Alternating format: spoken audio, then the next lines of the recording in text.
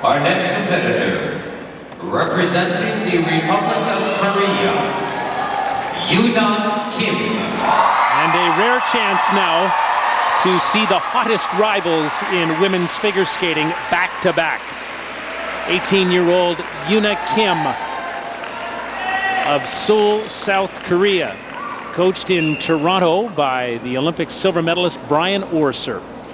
And Yuna was on the ice hearing the marks of Mao, and I'm sure in her preparation she was expecting Mao to be the leader and has to be surprised that her rival is sitting in fourth.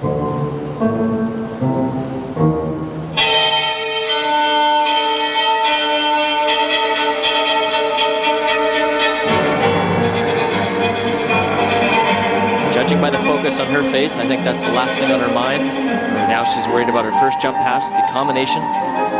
Another triple triple.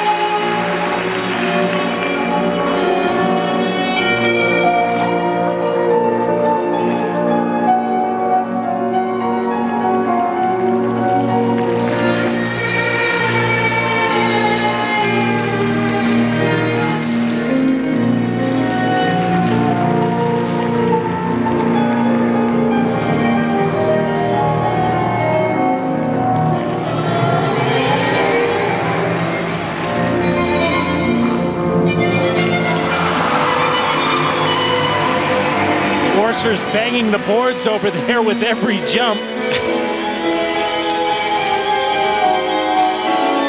Well, he can relax now because she's done the jumps.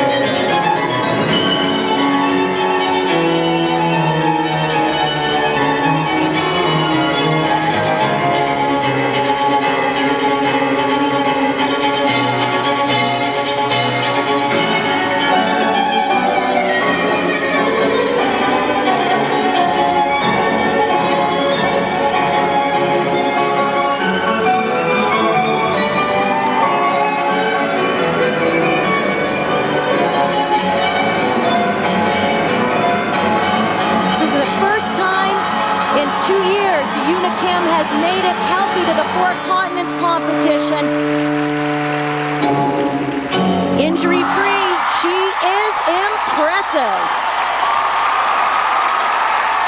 And she is on fire. The hottest thing on ice this year in women's figure skating. Her personal best is 71.95 in the short program.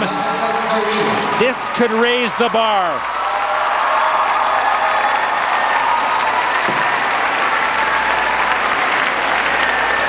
All sorts of things we could look at right now. Um, I'm thinking about the spiral sequence and how she had a little bit of trouble in the first spiral sequence. And then somehow when all the other girls are losing speed, her spiral sequence gains speed. And, and it's just incredible the quality above and beyond the jumps. Yuna Kim of Korea. Home fires burning for five-time Canadian champion Joannie Rochette. She's looking for a foothold in the short program at Four Continents. Stay with us.